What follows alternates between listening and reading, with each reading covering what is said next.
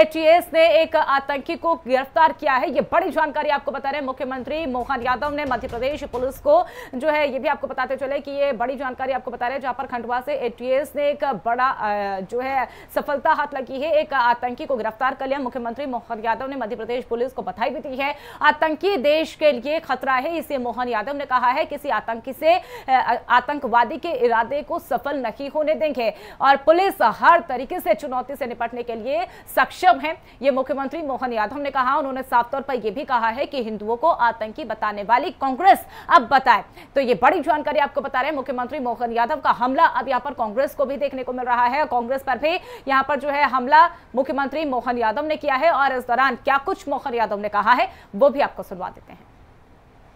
हमारी पुलिस चौकस चौकन्नी और सतर्क है। यही कारण है कि एक आईएएस का बड़ा आतंकवादी, जिसके माध्यम से बड़ी संभावना थी, हमने चौकन्ने होकर के उसको न केवल अपने कब्जे में लिया, बल्कि उसके साथ कई सारे साहित्य, कई सारी चीज़ें हैं। हम इससे जुड़ी भारत सरकार की सभी गुप्त एजेंसियों के संपर्क में भी आ गए हैं। हम उनको भी जानकारी दे रहे हैं कि इसके माध्यम से जो जो भी बड़े नेटवर्क है, अंतर्राष्ट्रीय स्तर के, उससे भी जानकारी जुटाई जाए।